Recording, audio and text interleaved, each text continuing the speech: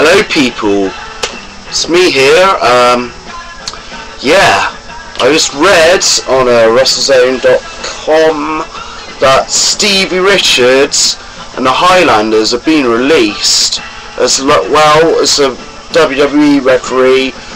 Where's someone? I don't know who. Um, but yeah, sad times, sad, sad times. Stevie Richards, I kind of see.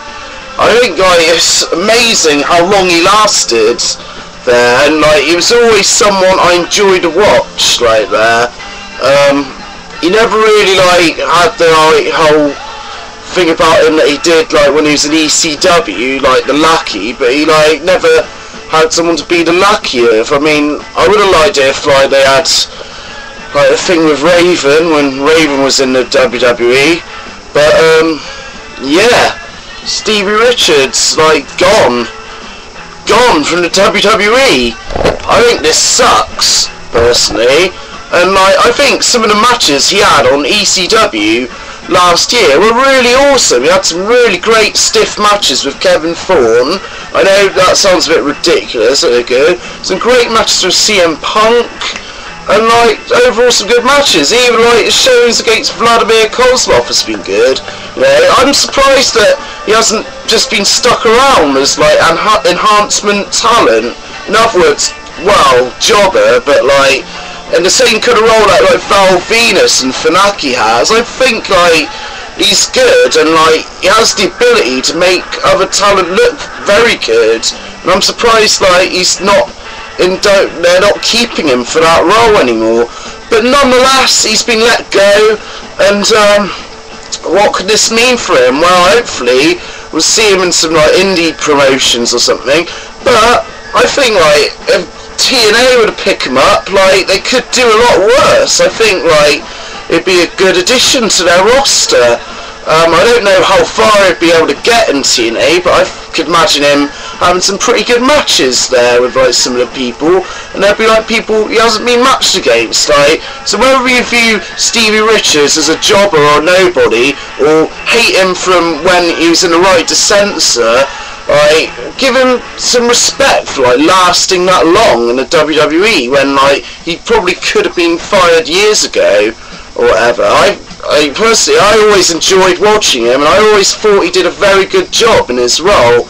So yeah, that's that's a shame for Stevie Richards, but hopefully we'll see him once again somewhere else. Um, like not another new releases, the Highlanders. Well, this kind of you saw this coming really. Um, with uh, one of them at that TNA was it the TNA Live Impact where they like had I think it was Robbie they had a, the one with a beard and uh, long hair anyway um, they had him like, on camera and like that was a bad move by TNA like just like putting his job in jeopardy like that. And obviously um, we haven't seen both of them like very much on camera anyway. In fact very much like not a lot's been done with them at all really.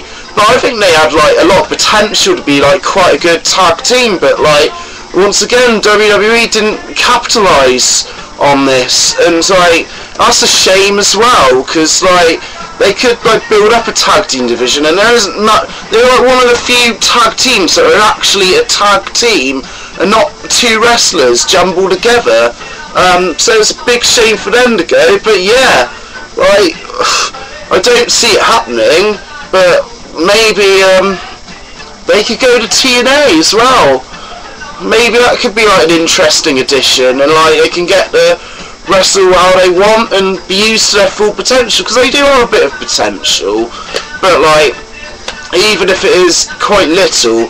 But then again we haven't been allowed to see what it is that they can offer the most of if you know what I'm saying. Um, yeah. So yeah that's like some releases. Uh, another referee. Referee I don't know the name of to be honest. Um, yeah another thing to talk about is um, I just seen like on the internet um, Colt Cabana's SmackDown debut onto WWE and um, I don't know he, had like a short kind of pre-tape promo. Um, like still like the same kind of like charismatic, jokey Colt Cabana, but he's called something like Scotty Goldman or something, and I know that's not very good. But like I think like Colt Cabana is someone, well, or Scotty Goldman now, like can like pretty much get over it on his own personal charisma and his talent. He went against Brian Kendrick, who I am a fan of, and um, it looked, he looked good in there. Like it looked like real good in there. Uh, like I hope he isn't like just new enhancement talent or whatever, though he easily could be. But nonetheless, I'll be looking forward to seeing more of him, and I hope WWE like let more of him shine on SmackDown. I think he would have been a better addition to ECW, like as of now, personally. But hopefully they can like bring something round. So like maybe he could be like Colt Cabana in a few weeks or something. But nonetheless, I think he will have the ability to entertain a WWE audience. And I'm looking forward to seeing more like of Colt Cabana on like WWE television and I hope he gets the right opportunities and doesn't get released in a few weeks like uh, Braden Walker does. So yeah, um, some releases that are quite interesting um, and also Colt Cabana's debut with Scotty Goldman. Alright, that's just a quick vid from me. I should be doing another vid soon. Got a few lined up and it's also SummerSlam on Sunday so I'll review that next week. There's already a shitload of prediction videos, so I'm not going to do that. Um, may do a Q&A soon, so send questions in if you want. Um, yeah, I'm rambling. Da, da, da. I'll see you later. Bye.